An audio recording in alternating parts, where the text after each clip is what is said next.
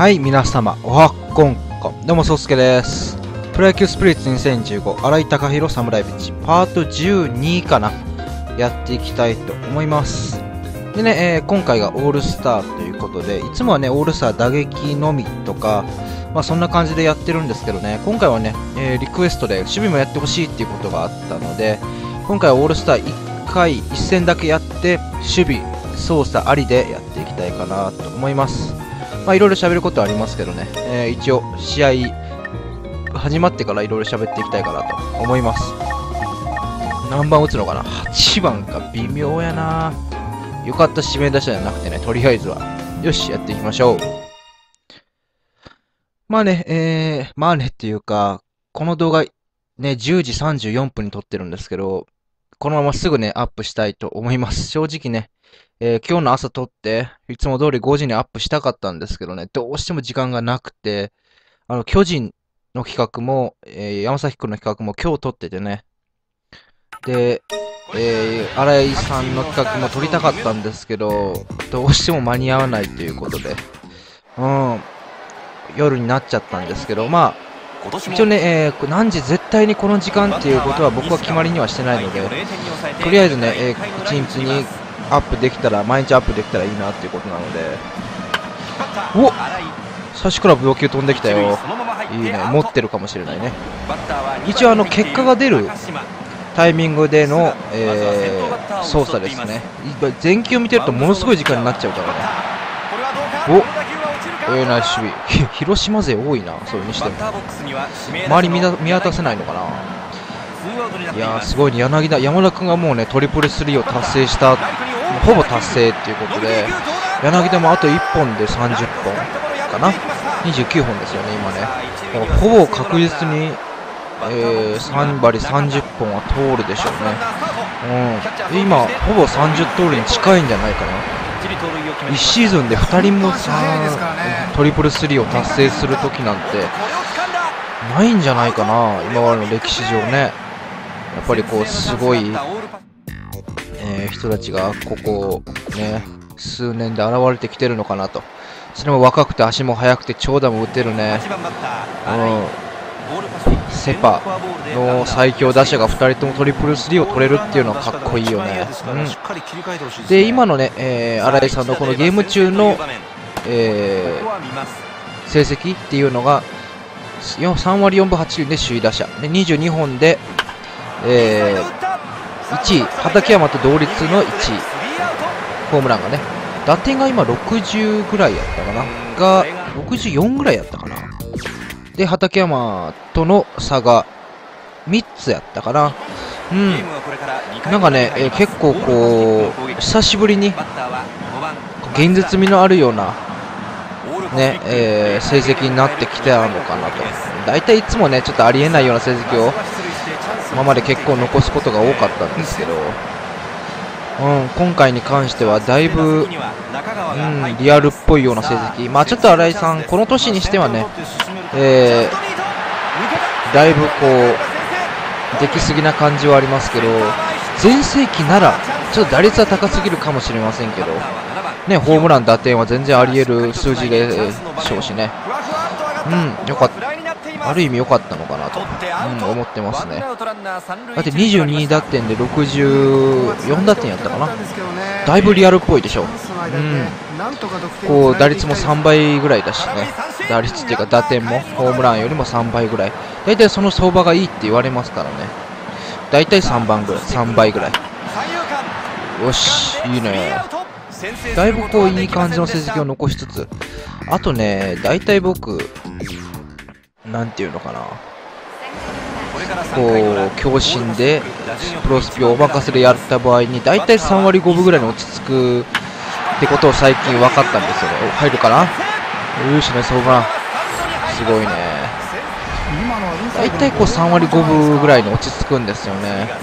だから、もうちょっとこう伸ばしていきたいかなと。うん。これね、強心だけで、そうだね、3割7分とか3割8分ぐらい打てるようになると、またこう一つ皮がむけるのかなと思うんで、強心で4割打つのってなかなかこう難しいと思うんですよ、多分ね。うん。できる方はいっぱいいると思うんですけど。僕の場合はだいたい3割5分程度に落ち着くのでこれからね頑張ってもうちょっとこうレベルアップしてうん3割8分7分あたりを目指していけれたらなと今考えてます。あと得点圏打率はね3割6分8厘ぐらいやったかな。出てくれるからあこっちの方か。うん左打者の方が得意なんだよね僕の場合。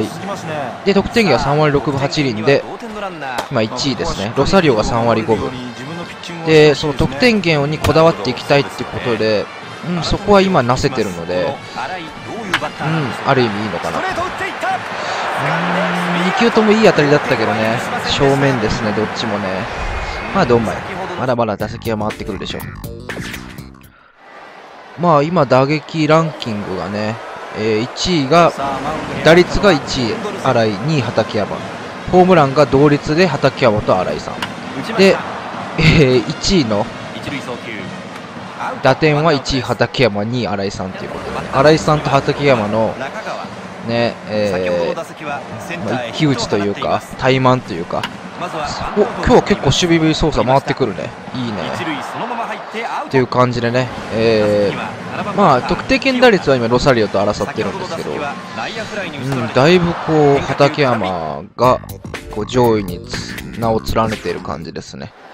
まあだからねホームラン打点は結構これからも争っていくのかなということで結構こう面白い戦いになるんじゃないかなタイトル争いっていう部分で。今まではね結構こう打率はぼちぼち争ってたとこもありましたけど、うん、ホームランとか、どこ？ここ？えー、ホームラン、打点に関しては結構ね、えー、大差をつけて今まで勝ってきてたことが多かったので、こう思うとね、いろいろとね、うん、面白い感じで動画が撮れるのかなと思うと、ある意味いいですよね。いいよ、牽制。牽制した方がいいよ。来たさせるか？無理だでしょいやあと西川で200盗塁の企画したらどうですか？っていうコメントをいただいてね、まあ、200盗うおっとナイスバッチ。200盗塁すると考えたらね春樹ぐらいですかね。まあそのタクでも100ちょっとやったからね春樹でどこまで伸ばせるのか楽しみですけどねうんよし、来たよ。もう1、2回回ってくるから1本ぐらい打ちたいね。こんな感じです。いいの、いい成績残せてるんじゃないかなと思います、正直ね。思った以上にこう打率がいいっていうのがね、うん、その僕のイメージとは違ったので、それはありがたいなっていう。あとストレートのその苦手球種を消してからがやっぱり打ちやすいよね、ストレートが。うん。今まで振り遅れたストレートが結構強振で捉えても左中間抜けてくれることが多いのでそういうとこがありがたいかな。どうだ？超えるか？惜しいな。ナイバッチ。いいね。結構その新井さんの企画では打てるようになってきたかなと。結構ねその交流戦から、えー、オールスターまで20試合近くあったんですけどちょっと調子を落とした時期もあったんですけどね。なんとか3割5分程度で収めれた。一時期3割2分近くまで落ちたんですけどね。まあ、なんとか最後の数試合で、えー、取り戻せたかなっていうことがあったので、それについてはね、良、えー、かったのかなと思ってます。うん。まあ、本当たくさんのねコメントとかもよくいただけるので本当に嬉しい限りかなと、うん、あとね、えー、丸と仲良くなってあだ名をつけてもらったんですよまあ、ある程度皆さんね何をつけたかってことは分かってると思うんですけどえー、辛いってつけたらね、辛いさんって呼んでくれましたね。なんかそれがシュールでね、僕はちょっと気に入ってます。うん。やっぱりこう、前回の動画にも喋らせてもらったと思うんですけど、サムネイル作るときに、あらい面白いって調べたら結構面白いの出てくるからね。うん、芸人かよっていうぐらい面白か面白い、えー、画像が結構ね、流れてきてくれるので、うん、いいですよね。あとこう、ファーストの動きっていうのは僕、ファーストやってなかった人間なんで、サードとピッチャーしかしてなかった人間なんで、まあ、遊びでね、ショートはやったことあるけど、ショートと外野はね、あるんですけど、うーん、ファーストでどういう動きをすれば正解なのかな？オナイバッチ。まあ、大体こうツーベースになれば、えー、ショート、セカンドが、ね、えー、中継に回るから、まあ、そのまま投げてきてよかったのそのまま二塁に走るっていう動きは知ってるんですけど、ね、他の動きがあんまりよく分かってないというか、こうやって思うと野球しててもね、自分のポジションじゃなかったら、こういう時にね、どういうところに動けばいいのかとかね、ここにベースにいていいのかとか、うん、自分のポジションじゃなかったら、こうやって見るとあんまり見てないなって思いますよね、正直。うん、まあ、結構昔にやったし、てかほんまに回ってくるね。守備が多いね。ファーストも面白いね。こう、ゴールやったらね、普通にボール飛んできますし。案外ファーストの守備が一番こう、機会が多いのかなって感じしましたね。これやっててね。先ほどの打席で勝ち越しとなるツーベースヒットをそんなに落ちるんだね、フォーク。まあ、絶好調か。よし。平野も能力下がったといういいピッチャーですよね。厳しいですからしっかり抑えていきたいですよね。まあそうですね。その高めからのフォークは厄介だね。そうですよね。もうフォークの球威がえげつないもんね。うん。いや見えなかった今の。全然張ってなかったねそこには。お変えられたか。まあでも1本タイムリーかな。打てたし、守備も回ってきたし、動画的には良かったんじゃないかな。うん。まあちょっと短めですけど、今回はこういう形でやっていけたらなと。あと本当にね、楽しみにしてくれた方、ちょっと遅れてすいません。うん、いつも5時ぐらいに更新してるんですけど、奈良井さんの企画は。ちょっと今日はね、12時ぐらいになっちゃうから、もしよければね、見ていただけたらなと思います。本当にね、いつも毎日、えー、コメントをくれる方、見てくれる方ね、本当励みになってるので、ありがたいなと。いつもね、ラフに喋るんですけど、今回はちょっと、ね、遅れているので、ちょっと堅苦しい感じにはなりましたけどね。うん。これなんかラフに喋ってもなんかちょっと申し訳ないなって気もするので。うん。ってことで、次回はね、ここのドラゴンズ3連戦を取っていきたいかなと思います。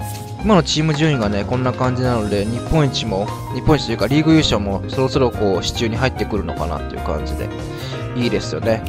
最後に能力アップして終わりましょうか。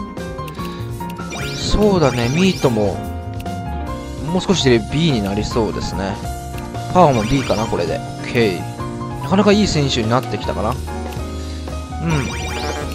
守備も、いやなかなかいいんじゃないかな。77。いい選手になってきましたね。ということで、今回はこれぐらいで終わりたいと思います。またね、次回を見ていただけたらと思います。それではね、そうすけでした。ご視聴ありがとうございました。それではね、さようなら。